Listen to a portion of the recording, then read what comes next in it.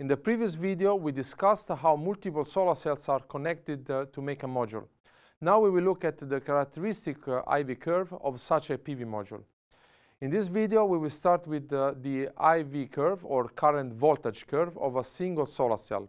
We will then build up an ideal module and look at its uh, IV curve. Finally, we will discuss the various mismatch effects that affect a real module. Let's begin with the, the parameters that characterize a solar cell. Note that the vertical axis represents the current, while the horizontal axis represents the, the cell voltage. This black curve indicates the current voltage curve of an illuminated solar cell, while the red curve depicts uh, the current voltage curve in the dark. From this plot, we can discern the characteristic parameters of a solar cell, such as uh, the open circuit voltage VOC, highlighted here in blue. The short circuit current ISC is indicated in orange. The maximum power point, where the product of the current and voltage is maximal, is indicated by the green arrow. With the, these parameters, we can determine the fill factor. The fill factor is the ratio between the maximum power generated by a solar cell and the product of the VOC and the ISC. Graphically, the fill factor is equal to the ratio between the yellow dashed area and the blue area. Finally, the efficiency of a solar cell is equal to the ratio between the output and input power. In practice, this means that the efficiency is equal to the maximum power output divided by the incident power. The incident power in this case is equal to the product of the irradiance, which is generally equal to 1000 watt per square meters according to the standard test conditions, and the cell area AM. To see how the IV curve of a module is different from that of a single cell, let's first look at the IV curve of uh, an ideal module. For this module, we assume that all the interconnected solar cells have identical electrical characteristics and all experience the same insolation and temperature.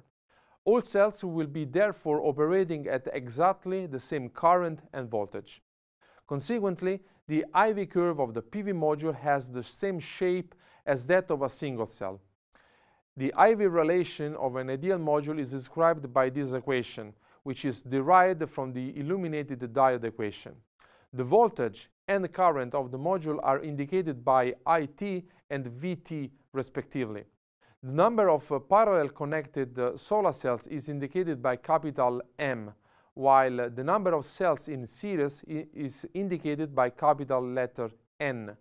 The lowercase n is called the single cell ideality factor, which is here uh, justified having assumed that all cells in the module are identical and operating under the same illumination and temperature conditions. ISC is the short circuit current of a single solar cell and I0 is the saturation current. Ideally, the total current of a PV module would be the product of the current of an individual cell and the number of cells in parallel. And the total voltage would be the voltage of an individual cell multiplied by the number of cells in series.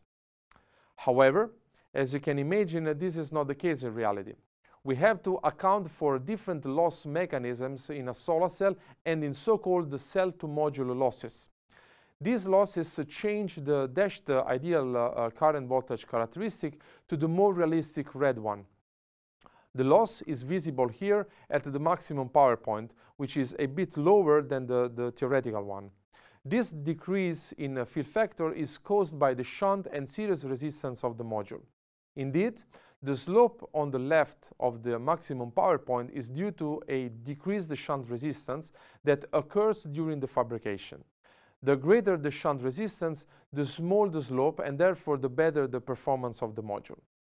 At the right side of the maximum power point, the cell experiences an extra slope due to an increased series resistance.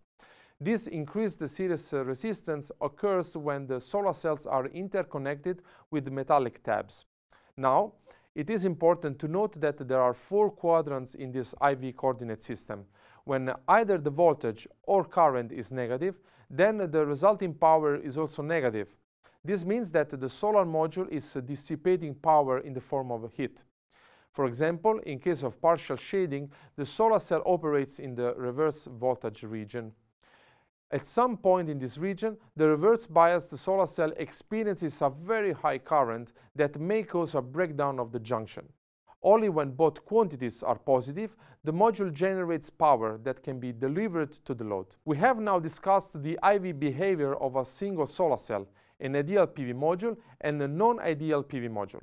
In the next video, we will continue our discussion of the IV curve of interconnected cells.